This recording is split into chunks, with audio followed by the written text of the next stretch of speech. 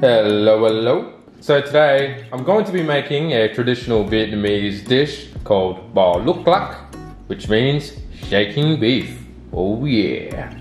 So I got this recipe from a guy on YouTube named anh and he does this recipe in two parts, the shaking beef part and the fried rice part. So let's look at the ingredients that we'll need for today. Now, I'm using about twice the amount of ingredients that Anh Lee BTR's recipe had. And that's because I'm just hungry. For the shaking beef, you're gonna need some garlic, tender beef. Now this is uh, beef knuckle. You'll also need some black pepper, oyster sauce, MSG, sugar, and some chicken powder, or as my mom likes to call it, chicken stock.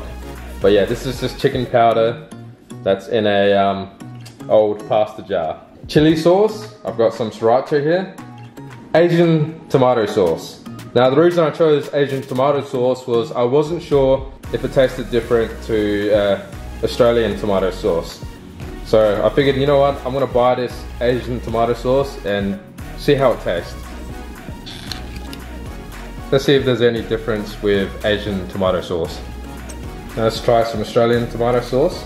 I think they're pretty much the same. I think the Australian tomato sauce is a bit sweeter, but really there isn't too much of a difference between these two sauces.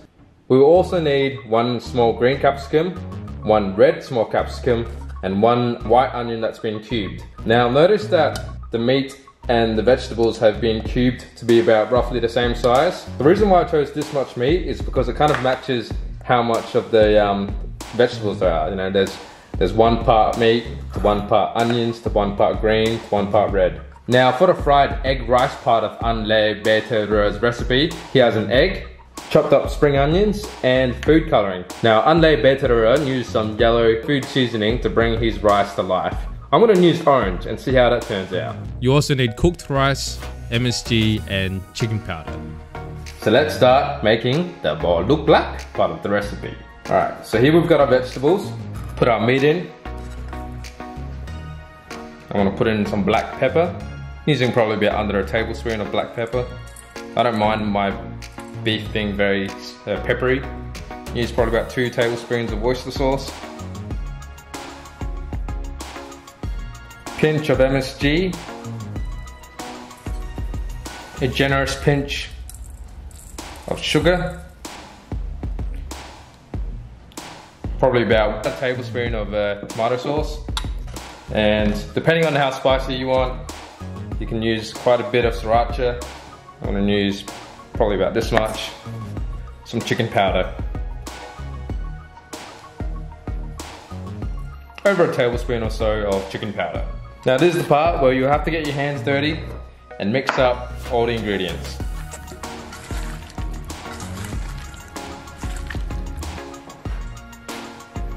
So we're gonna let this set aside for a bit and now we're gonna move on to frying the rice.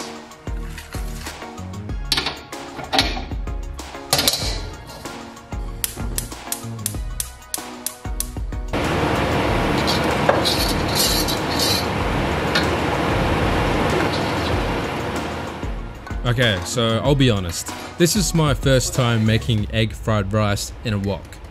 And here I've made the terrible mistake of using way too much oil. Just look what happens to the egg. It becomes way too runny and it didn't turn into an omelette, which is what you want in this situation.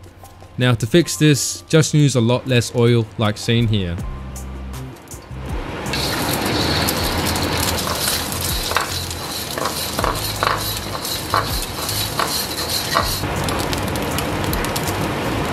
Bowl of cooked rice.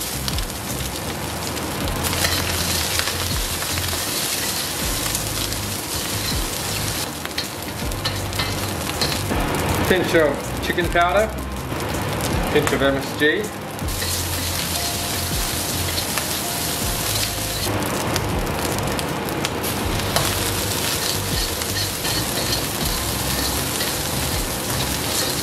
Now you will know that your rice is almost good when you can see individual uh, rice grains jump in the air.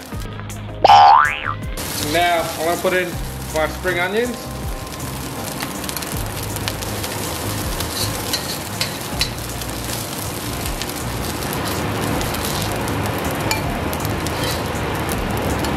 So now it's time to cook the shaking beef. Alright, get some oil. We're gonna add in our diced garlic.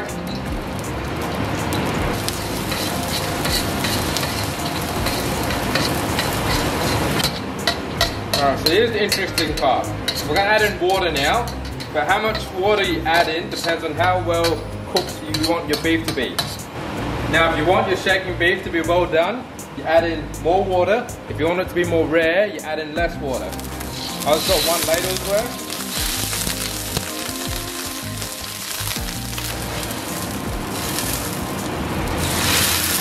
Now we're gonna add in our meat mix.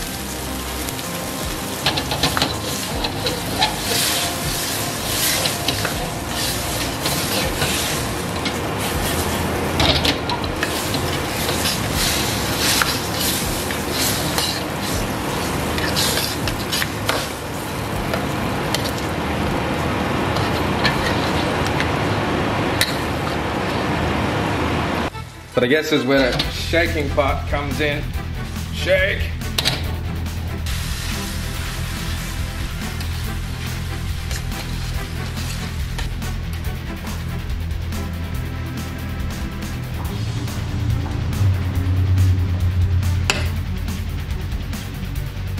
Now unfortunately, my Asian supermarket ran out of uh, Asian lettuce, but instead I've got kale. Kale looks nice on camera as well, so that's alright. Alright, let's get our shaking beef.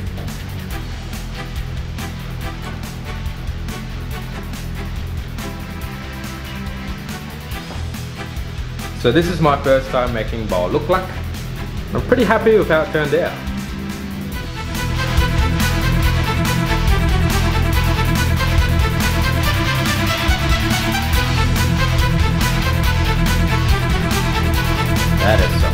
Stuff, baby.